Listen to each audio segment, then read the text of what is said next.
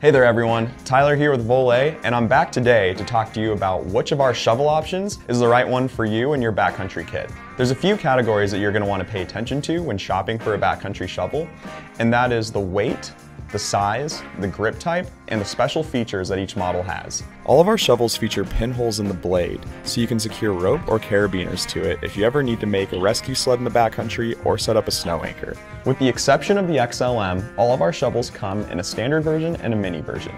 Here we have our Hoback shovel, which is highlighted by its feature to turn this standard shovel into hoe mode for quick digging in rescue situations. A few other key features of our Hoback shovels is a flat blade for ease of use when doing snow study out in the field.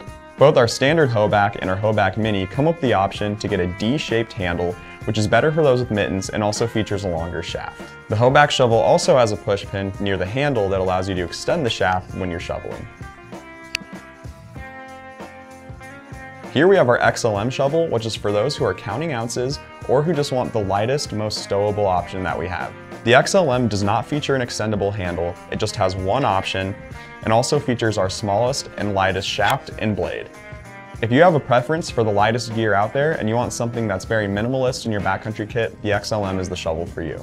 Here we have the Telepack and the TelePro, which are the quintessential backcountry shovel. There's no frills here, nothing too crazy or exciting in terms of features, it's just simple and solid, and that's what we like here at Voile. The TelePro shovel features a D-shaped handle, which is best for those with mittens, and it also features a longer shaft. So if you're trying to move the most amount of snow possible in the quickest amount of time, this is the one for you. The Telepack features a T-shaped handle, which works well for those without mittens, and it also features a shorter shaft, so it's just a little bit more stowable and a little bit more lightweight than the TelePro. Here we have our T-Wood shovel, which is essentially the same as the Telepack, except it has a saw blade within the shaft. The blade inside of the T-Wood can be accessed by pushing in on the two push pins near the base of the shaft, and then pushing them in one more time once it's popped out to reveal the blade.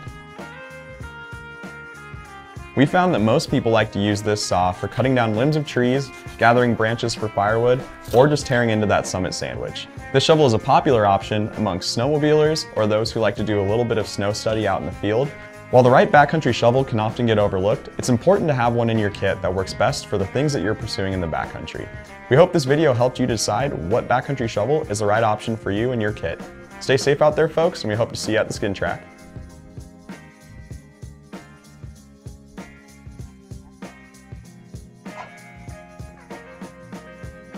Some avalanche shovels can be used in either traditional mode or hoe mode, like the Dozer 2H. Traditional mode is more for chopping hard snow, like avalanche debris.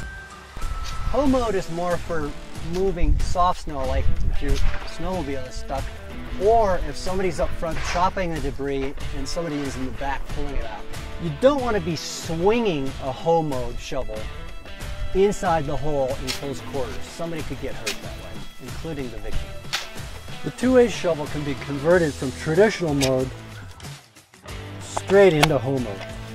In really hard avalanche debris, you may need to actually stomp on the top of the shovel blade like a gardening spade.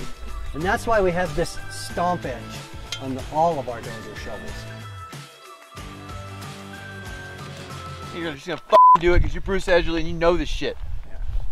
In this episode, we're going to talk about probing and we're also going to talk about shoveling. Shoveling is what takes us the longest in an avalanche rescue and it's also very physically draining. So we're going to talk about some strategies that we can use to efficiently and effectively remove snow with one person or with multiple people.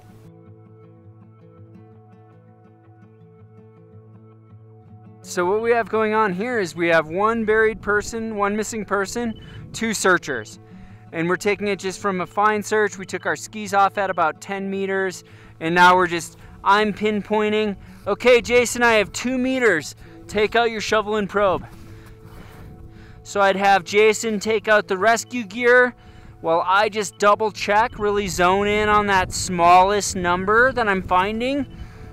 Okay. It's a meter 30 right here, so I'm gonna wanna mark that spot, right? Meter 30. Jason's got his probe out.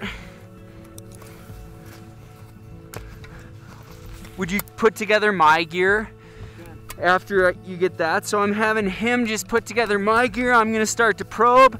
when I'm probing, I'm looking for a change in depth or I'm looking for a spongy feeling. We really want to make sure that when we get a probe strike that it's a probe strike. The last thing we want to do is dig for 10 or 15 minutes and then realize we just hit a firm piece of snow. So as I'm probing, I'm I'm spiraling out, not leaving a space greater than if someone were standing straight up and down in the snow. All right, there it is. Probe strike. First thing I'm gonna do is I'm gonna look at my probe. I'm gonna see that's at about 130 centimeters right there. If I have another probe really handy, I might just wanna go ahead and be like, yep, 130, that's another probe strike, okay. We're gonna leave that probe in. Now, what we're gonna do with two diggers, since it's over a meter deep, I'm gonna start digging right at the probe and Jason's gonna move plus time and a half downhill from the probe and start digging there. And what I wanna accomplish is I wanna have a slope that goes into the bottom of the probe. I don't want it to be greater than 25 degrees so snow's not rolling back into that.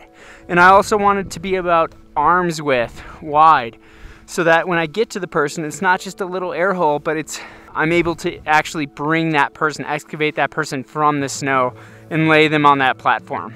They need to have air, but they also need to be able to expand their lungs and take a breath.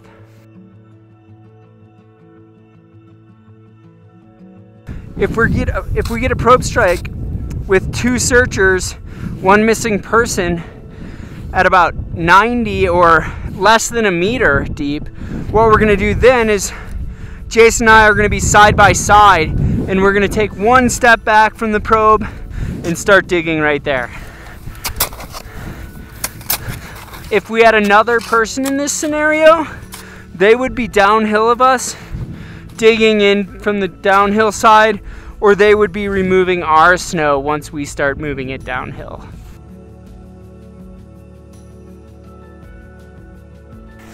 So if there are four people, five people, we're just lining up and removing snow, especially in a deep burial.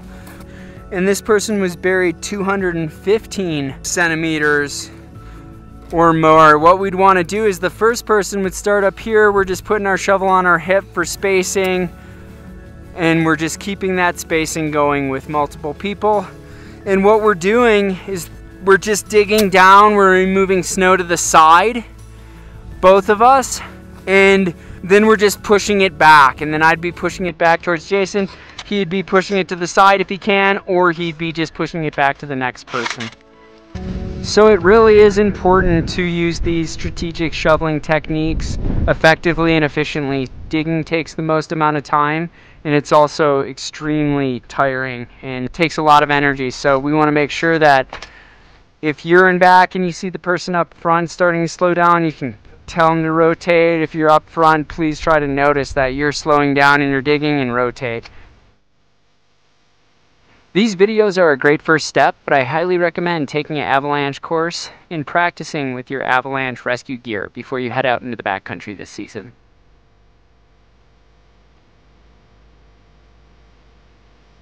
At ARVA, we've been designing avalanche rescue equipment for over 30 years. The lightweight, compact, high performance Plume TS shovel combines the shoveling efficiency of a telescopic shovel with our new extremely lightweight blades specifically designed for ski touring.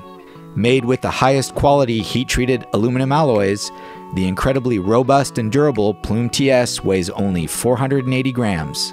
The Plume TS's pin-lock locking mechanism makes assembling the blade and shaft quick and easy. The 76 centimeter long telescopic shaft deploys quickly, and the ergonomic handle is easy to grip. A reliable tool without the extra weight, the Plume TS is ideal for the demanding backcountry skier looking for a lightweight shovel that performs well in any situation. This is the Salewa Razor SL shovel. In case of an avalanche, you need strong and light tools. This is why the Razor SL is popular among mountain guides and other professionals. With its sharp blade edge, it cuts through avalanche snow. It's made from rigid, tempered aluminium. The ergonomic and telescopic shaft is perfect for handling. The horizontal thread zones make footwork possible without slipping. And together with the strong Salewa pre-cut master cord, you can even use the shovel as a snow anchor if required. The Salewa Razor SL is as well thought as it is engineered, a truly reliable avalanche shovel.